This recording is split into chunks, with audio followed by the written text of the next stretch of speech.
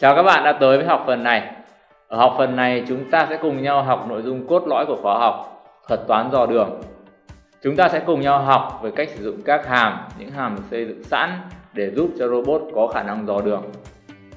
Ở học phần này chúng ta sẽ không có bài tập mà những bài tập của học phần này sẽ nằm ở nhóm các bài tập nâng cao nằm ở học phần tiếp theo.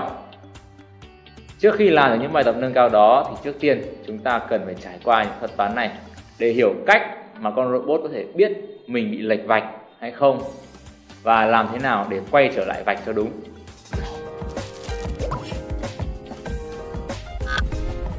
Mình sẽ lượt qua một chút, có thể rất nhiều bạn đã biết cách kết nối cho robot rồi.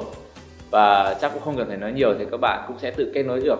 Tuy nhiên để đảm bảo là các hướng dẫn của mình nó phù hợp bởi vì từ phần 10 các hướng dẫn là trên toàn hệ thống, thế nên là mình có lượt qua phần cứng của hệ thống một chút.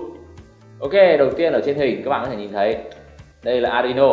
Arduino thì câu nguồn vào ờ, cái bộ cảm biến hồng ngoại này. Đây là bộ chuyển tín hiệu analog thành digital.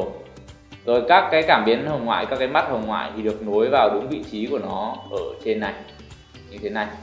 Đúng vị trí như đã hướng dẫn nhé các cảm biến từ bên trái sang thì sẽ được nối tương ứng vào các chân là 10, 11, 12, 13 Tức là ngoài cùng bên trái thì sẽ là 10 và ngoài cùng bên phải sẽ là 13 đây như trong hình thì mình cũng đã có nối sẵn vào đây. Nguồn thì được cấp chia hai đường cho Arduino và L298 đây là nguồn âm. Còn uh, nguồn dương thì sẽ phải qua công tắc rồi cũng chia hai đường. Những đường chia đó thì mình dùng chốt nối dây. Uh, tiếp theo đó thì ở đây mình nối động cơ vào L298 như thế này. Uh, các chân tín hiệu của L298 thì là 6789 nối vào in 1, in 2, in 3 tuy nhiên là nếu mà động cơ không chạy đúng thì các bạn có thể đổi cái chân này một chút để làm sao bắt nó chạy đúng theo ý tưởng của mình.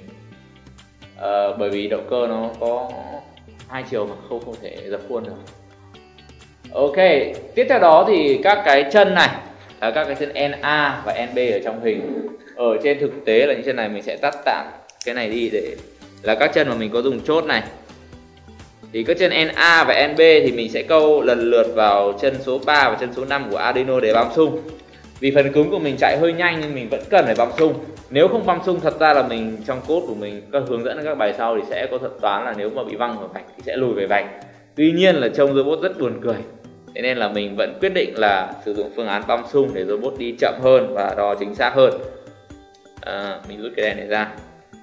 Dây tín hiệu này hiện tại đang nối vào chân số 5 ở đây. Và mình câu vào chân này là chân NA ờ, chân NA với chân NB mà câu đảo cho nhau thì cũng chẳng sao. Đây còn chân tín hiệu này. Đã sẽ được cắm vào chân số 3 ở đây. Và câu vào chân NB ở đây. Đó mình sẽ băm xung cho nó. Ở các bài sau hy vọng là con robot này sẽ làm vừa lòng các bạn. Ờ, ý mình nói là nó sẽ chạy đúng. Ok, video này đến đây là hết. Hẹn gặp lại các bạn ở những video sau.